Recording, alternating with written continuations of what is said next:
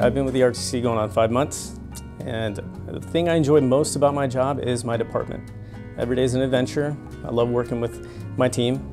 Great to uh, learn from, they're always willing to help, and I do love working with other departments as well. Being able to get an idea of what the uh, agency does as a whole is amazing. So, what does Hispanic Heritage Month mean to me? I think a lot of it has to do with bringing back memories of what you did in your childhood, things that you would somewhat take for granted that you knew were special at the moment, but didn't realize how special till you got older. You know, then being able to look back on it and know that as long as you keep incorporating these these little mini traditions along the way, you don't lose sight of, you know, what it was growing up.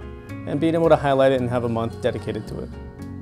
A family tradition I'd like to pass down, um, first one that comes to mind, be it that I'm a girl dad, is probably tamales for Christmas Eve. You know, and then you, you look back as a kid and you remember there was the assembly line process. Everybody had a job and everybody stuck to that job and some people were better at it than others. But I think the idea of being able to pass that down to my daughters is going to be pretty, it's going to be fun. And we've done little bits here and there, um, but they're still a little young. But as they get older, I, I wish to incorporate more of that into them knowing, you know, what it was growing up, doing it every Christmas. Personal motto that I live by and why it's my motto, I would have to say, and I've heard it before, you know, as you get a little older, it kind of means more to you, but I'd like to leave everything a little bit better than I found it.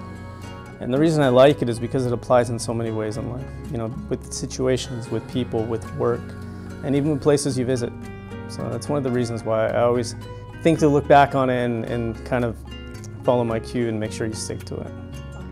I would say my mother has had the greatest impact in my life. And the reason being is because She's one of the smartest people that I know, if not the smartest. And, you know, it's kind of, in some senses, hard to believe. She stopped going to school in the third grade to take on the responsibility to help raise her brothers and sisters. She comes from a really large family. But, you know, with that being said, any of the big life decisions that I've made up until this point, um, you know, with a house and family and kids, you know, I still go to her for everything.